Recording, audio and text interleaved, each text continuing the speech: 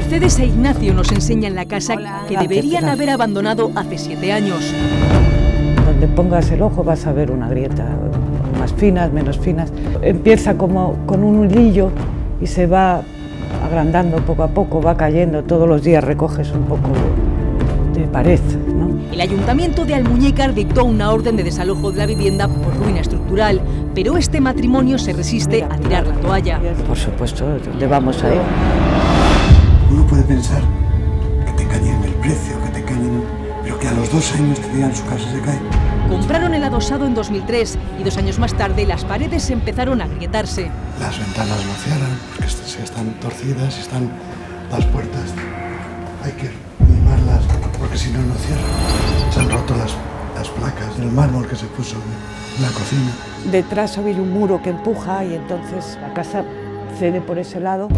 Un muro que podría llevarse por delante su casa y la de los vecinos colindantes. Estas son las casas a las que yo empujaría para las que viven arriba. Esto nos preocupa muchísimo, Pilar. Esto antes estaba junto y esto es lo que se ha separado este muro que tiene 20 metros. Las alarmas saltaron cuando la vivienda de enfrente de la suya se vino abajo.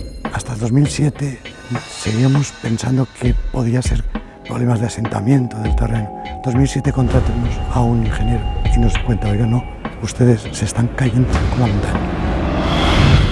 En ese momento fue cuando nos dimos cuenta del, del problema que teníamos y pusimos el veto correspondiente contra todas las personas jurídicas que habían participado en la construcción Cada invierno los propietarios rezan para que las lluvias no provoquen nuevos deslizamientos. Aquí no queremos que llueva, porque es horroroso. Cada vez que llueve, mm, dices, es que se va a caer encima, es que es un sinvivir.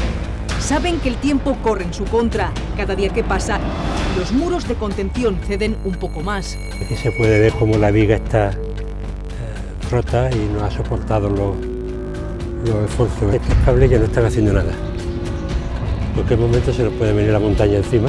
Por eso piden a las administraciones que se pongan de acuerdo de una vez por todas para estabilizar la ladera sobre la que reposan sus viviendas. Yo necesito que me paguen la montaña. Mío, pues ya poco a poco lo iré reparando. Pero, pero si no me paran la montaña no puedo hacer nada. Ahora mismo se pueden salvar, pero si no se hace nada, el futuro que nos espera es negro, totalmente negro.